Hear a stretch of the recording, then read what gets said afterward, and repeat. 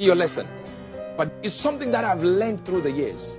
Why become a warfare to the men who took care of your welfare? You cannot unseat a principality that gave you a seat. You can never erase a man who raised you. You Hello guys, welcome again to Direct TV, bringing to you the truth.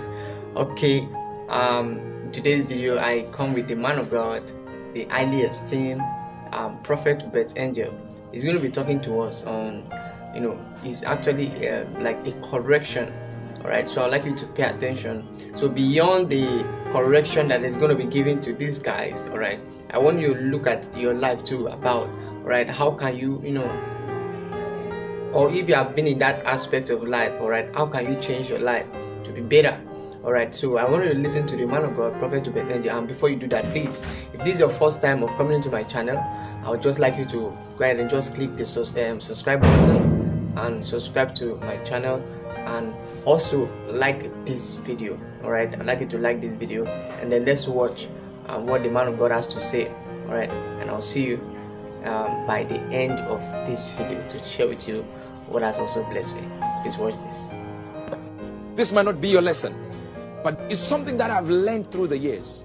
Why become a warfare to the men who took care of your welfare? You cannot unseat a principality that gave you a seat you can never erase a man who raised you you can never lie about men that laid their lives flat so you find a platform.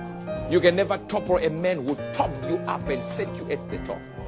You cannot dishonor the men who made people honor you. You cannot bring embarrassment to the men who gave you endorsement. Listen to me. Never become a problem to the men who gave you an emblem.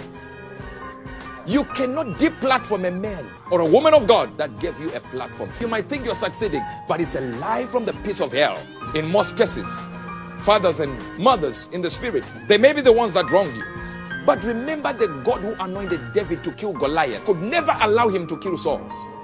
The battle against your spiritual father and spiritual mother is a battle you can never win. The drunkenness of Noah is not a license to expose whatever you think is his nakedness that would be wickedness and foolishness in the sight of God. For the man was naked in his own bedroom. The mistake of Moses in marrying an Ethiopian woman has not taken away from him the ability to make Miriam leprous.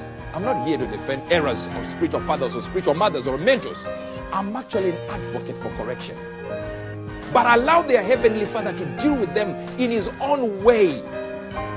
And time, please listen to me, if they don't repent. The Bible says, who are you to condemn another man's servant before his master is turned or he falls? I say this because I've seen sons, daughters fight their spiritual fathers and mothers on behalf of the Heavenly Father, only to be punished by the same Heavenly Father. Guys, that was an amazing session with the highly esteemed man of God, the prophet, His Excellency the Prophet Uebert Angel. Alright, did you learn something? Because he said so much about that has really blessed me as an individual.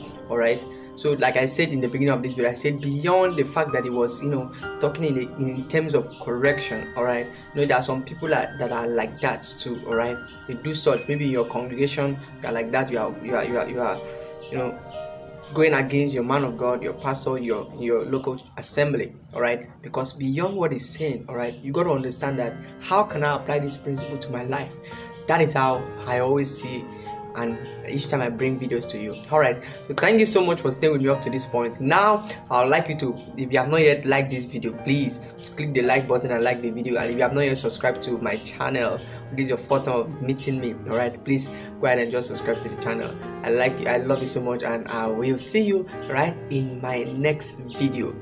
Don't miss my next video, boy, you're gonna love it. Alright, see you in my next video. Bye.